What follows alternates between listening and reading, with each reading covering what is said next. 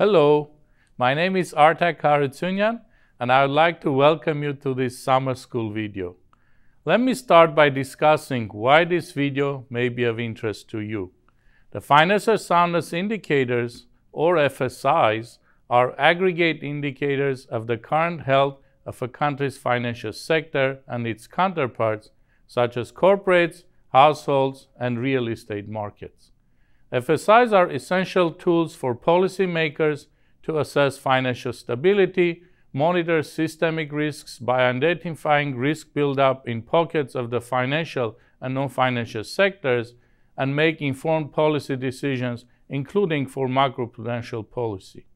The IMF also utilizes the FSIs for bilateral and multilateral surveillance. Currently, around 150 countries compile and disseminate FSIs in the IMF's FSIs database. This video introduces the compilation methodology for FSIs as set forth in the IMF's 2019 FSIs compilation guide. The methodology of this new guide aims at enhancing cross-country comparability of FSIs and expanding the coverage beyond banks to include other financial corporations. It incorporates recent advances in international prudential, accounting, and financial reporting standards. In this video, you will get acquainted with the definitions, concepts, and methodology underlying the compilation of FSIs, and you will learn how FSIs can be used for policy analysis.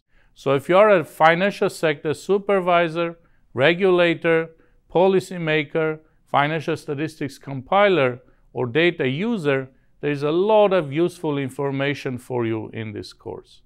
I invite you to learn about the collection, compilation, and analysis of FSIs in this summer school video, which is a nice preview for the IMF's online course, Financial Soundness Indicators, or FSIs. If you want to enroll for the complete course, which is free of charge, you can do so at imf.org slash learning. You can also find the direct link to the course in the description of this video.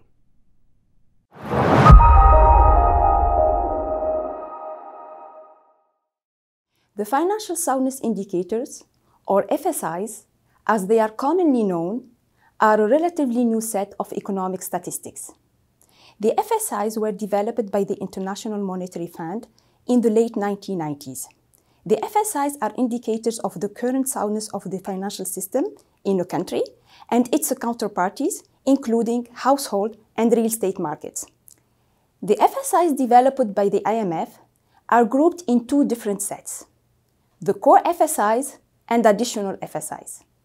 The core FSIs are sector-wide indicators monitoring the current financial health of deposit taker sector and real estate markets for a country. The additional FSIs provide further details on the deposit taker sector and real estate markets. They also provide insights into the other financial and non-financial corporations and household sectors. The 2019 FSI Guide is the ultimate authority on FSI concepts and methods. Currently, more than 140 countries compile and report the FSIs to the IMF on a regular basis. The FSIs are also extensively used by the IMF in financial stability and surveillance analysis. FSI data are disseminated in the IMF's FSI data portal. These data are widely used by researchers, analysts, and policymakers around the world. The FSI's database was enhanced in 2022 to reflect the adoption of the 2019 FSI Guide.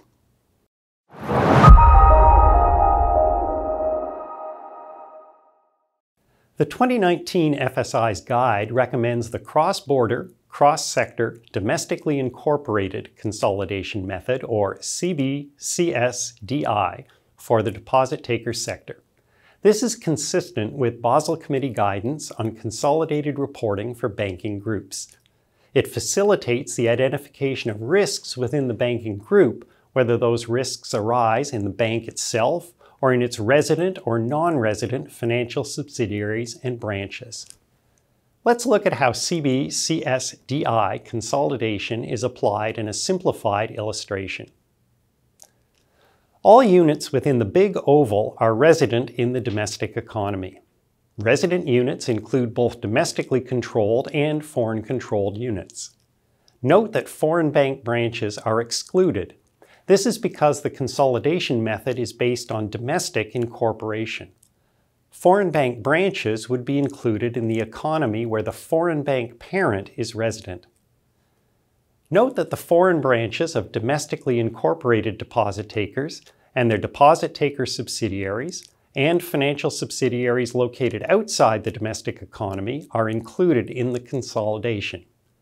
The 2019 FSI's guide recognizes domestic location, or DL, as a consolidation option for deposit takers.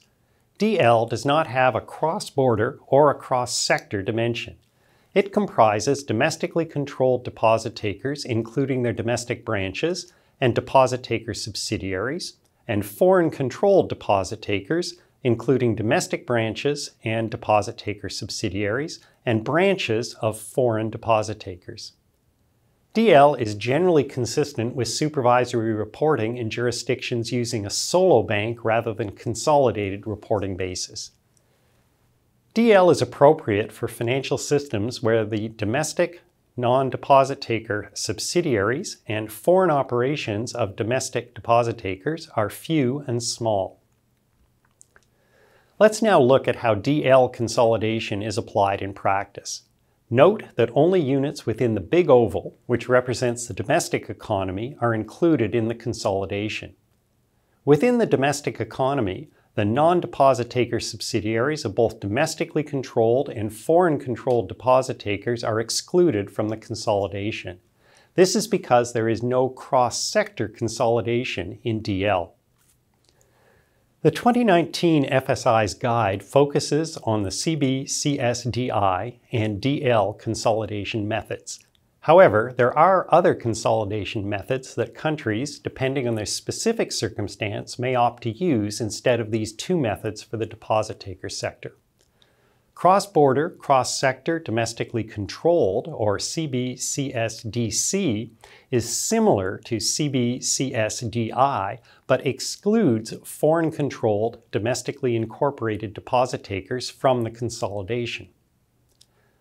Cross-border domestically incorporated, or CBDI, does not have a cross-sector dimension and thus excludes non-deposit taker subsidiaries. Foreign bank branches are also excluded. You've now learned about consolidation methods for the deposit taker sector.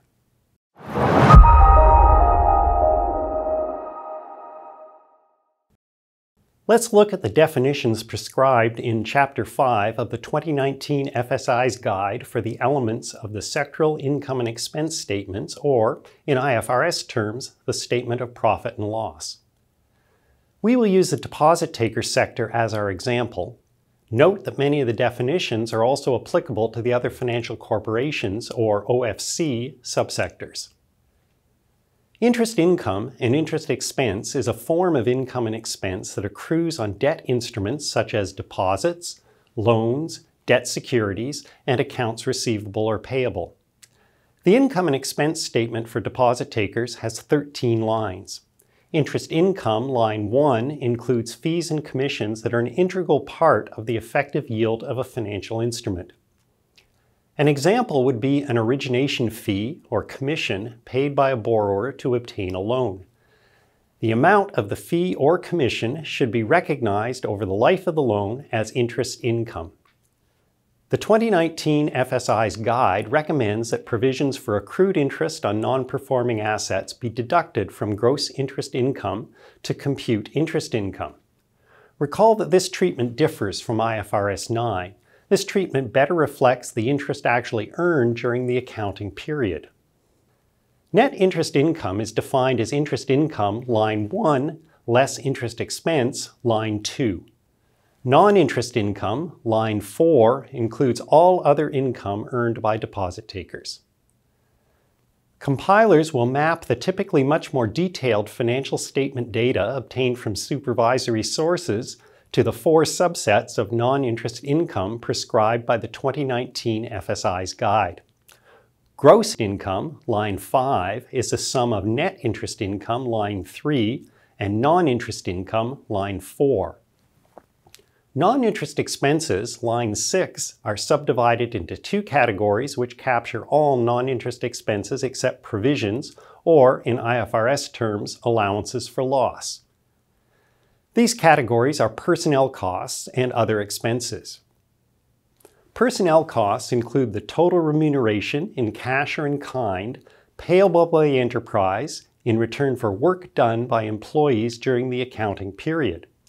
Personnel costs are typically one of the largest expense categories and are used in the calculation of earnings and profitability FSIs.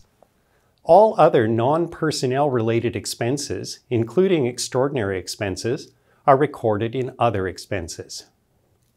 Provisions, line 7, are subdivided into loan loss provisions and other financial asset provisions.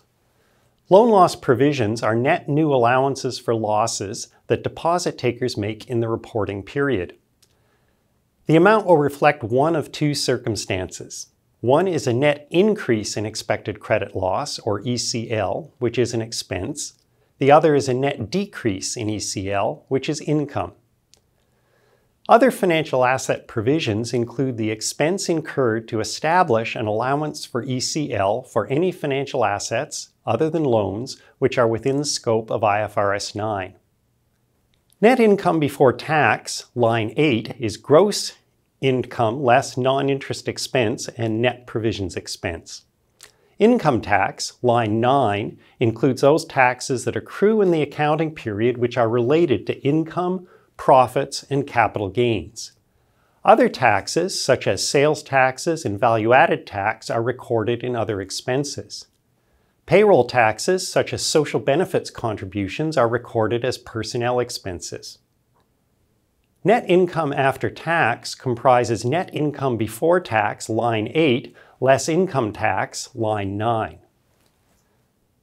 Other comprehensive income or loss, net of tax, line 11, records the total from the Statement of Other Comprehensive Income and Loss in an International Accounting Standard, or IAS 1, compliant set of financial statements.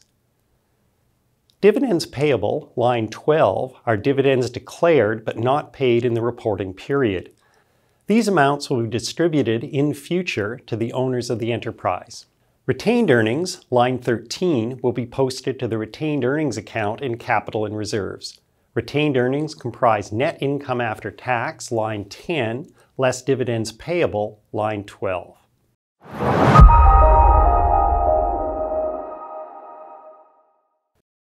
Let's now learn about the definitions prescribed in Chapter 5 of the 2019 FSI's Guide for the elements of the sectoral balance sheets, or in IFRS terms, the Statement of Financial Position. We will use the deposit taker sector as our example. Many of the definitions used are also applicable to the other financial corporations, or OFC, subsectors.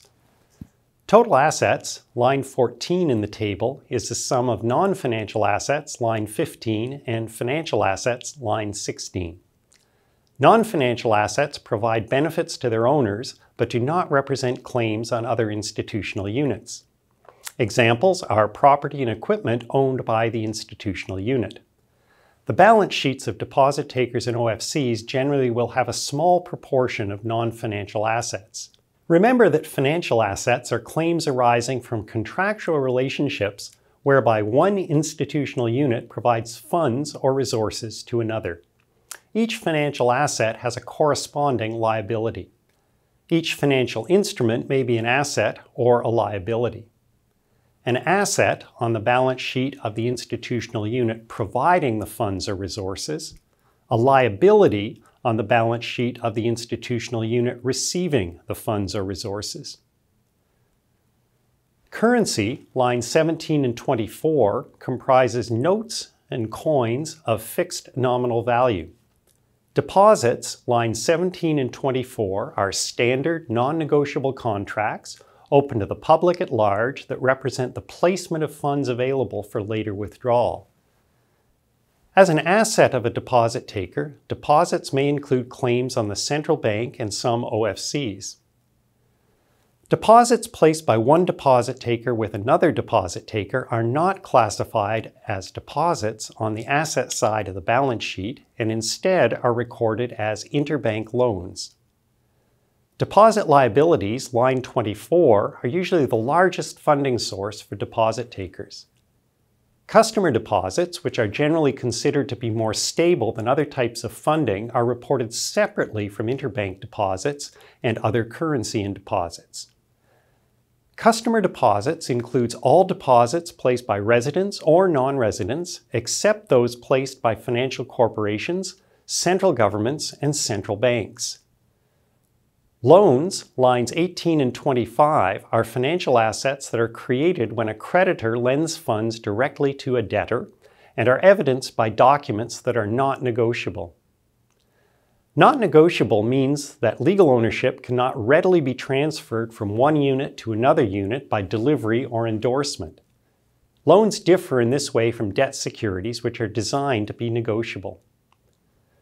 Loans are typically the largest single asset class for deposit takers. This asset class includes many different types of loan, including overdrafts, commercial loans, installment loans, finance leases, and repurchase agreements.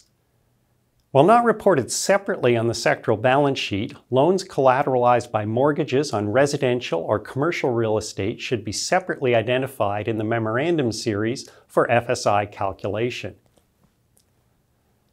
The 2019 FSI's guide recommends recording gross loans, less specific provisions as a negative or contra asset item, line 18.II, on the balance sheet.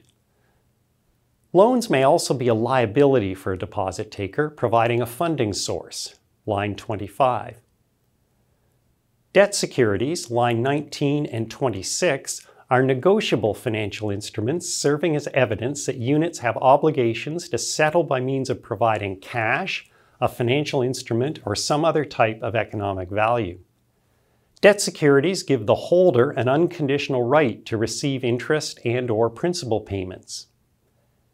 Examples of debt securities include bills, bonds, debentures, commercial paper, negotiable certificates of deposit, and asset-backed securities.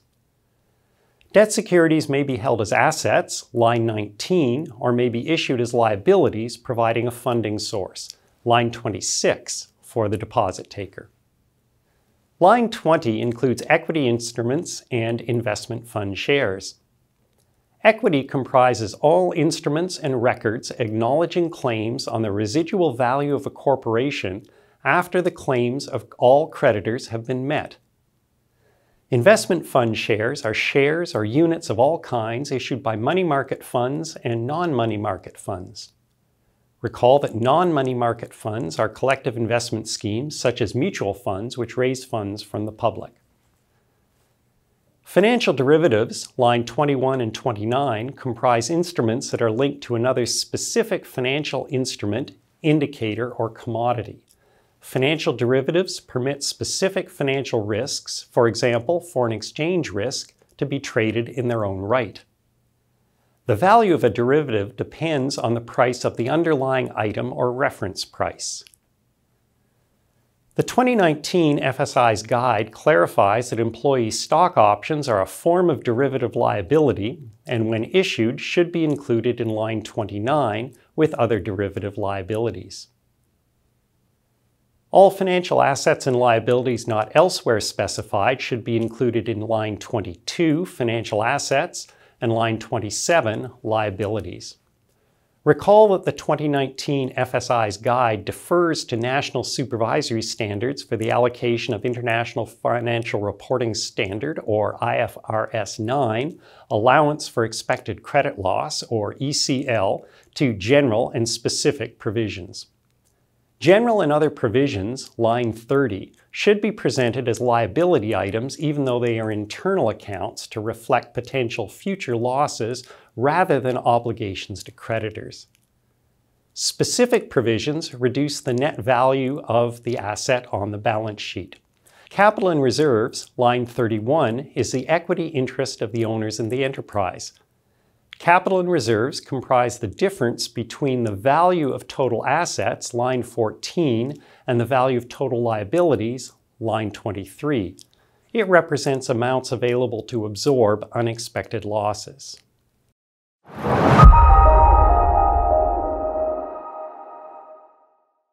The memorandum series are additional data not found in the sectoral financial statements which are required to calculate the FSIs. The memorandum series can be considered to include three categories. The supervisory base series for the deposit taker sector, series that provide further analysis of the balance sheet for the deposit taker sector, other series required to calculate additional FSIs for the other financial corporations sector and its subsectors, and non-financial corporations and household sectors. The supervisory-based series, as the name suggests, are sourced from supervisory data. The 2019 FSI's guide relies on Basel Committee definitions and concepts for the supervisory-based series. There are many areas of national discretion in the Basel standards, and jurisdictions often employ national variations beyond the specified areas of national discretion in their implementation of Basel standards. Compilers will rely on national supervisory standards for these series. Exercise of national discretion and areas of variance from the relevant Basel standard should be reported in the metadata. Nine of the supervisory-based series have definitions drawn from the various versions of the Basel Capital Accords introduced earlier in this course. These include all of the elements of capital and two measures of risk exposure, risk-weighted assets and the Basel III exposure measure. These series provide data necessary to calculate the capital-related FSIs. Four of the supervisory-based series are drawn from the liquidity standards introduced in Basel III. These comprise the data necessary to compile the liquidity coverage ratio and the net stable funding ratio. The last supervisory-based series is large exposures, defined in the Basel Committee Standards Supervisory Framework for Measuring and Controlling Large Exposures. Large exposures is the sum of all exposures of a deposit taker to a counterparty or a group of connected counterparties which individually exceed 10% of Tier 1 capital. This series is required to compile the additional FSI large exposures to capital. Even though most of the series that provide further analysis of the balance sheet of the deposit taker sector are sourced from supervisory data, they are distinguished from the supervisory series in generally not being defined through reference to Basel Committee standards. Instead, these should be compiled by mapping the available source data that best matches the definition in the 2019 FSI's guide. If data aligned with the 2019 FSI's guide definitions is unavailable, the closest approximation should be provided with the difference from the recommended definition noted in the metadata. The remaining two memorandum series for the deposit taker sector are generally not obtained from supervisory data. Interbank rates will generally be obtained from the unit in the central bank responsible for financial markets or trading.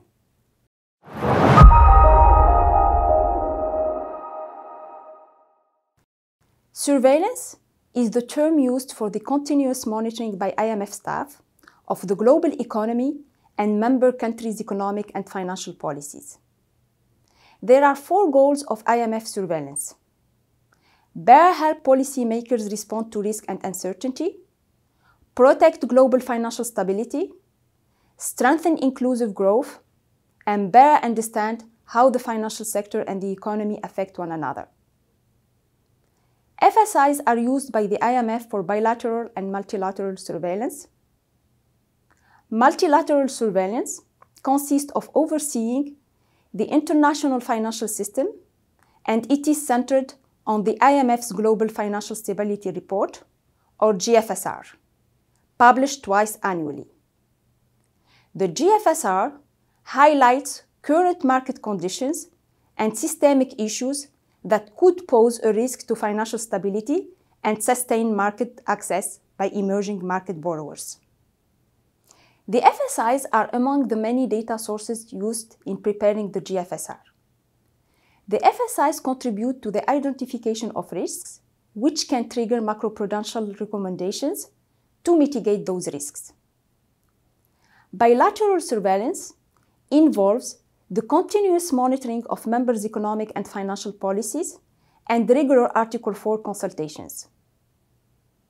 The Financial Sector Assessment Program, or FSAP, also contributes to bilateral surveillance. The IMF regularly publishes reports of staff consultations with country authorities. These Article 4 reports usually include some or all of the FSIs. Article 4 reports frequently include analysis of the soundness of the deposit taker sector, drawing on the FSIs. This reflects the importance of the FSIs in the ongoing IMF surveillance. Let's consider an actual example from the Indonesia 2022 Article 4 consultation. The IMF staff report is publicly available on the IMF website. Trend analysis of bank capital and liquidity, FSIs, indicated continuing resilience in the Indonesian banking sector, with bank liquidity recovering and capital ratios are above pre-pandemic levels. FSIs are also used in the Financial Sector Assessment Program or FSAP. The FSAP, established in 1999, is a comprehensive and in-depth assessment of the country financial sector which generally includes some FSIs. In an FSAP, stress testing and another analysis complement and expand upon the insight available from the FSIs. Increasing the country reporters and expanding the coverage of the FSIs, as specified in the 2019 FSI guide, will enhance the macroprudential analysis in IMF surveillance.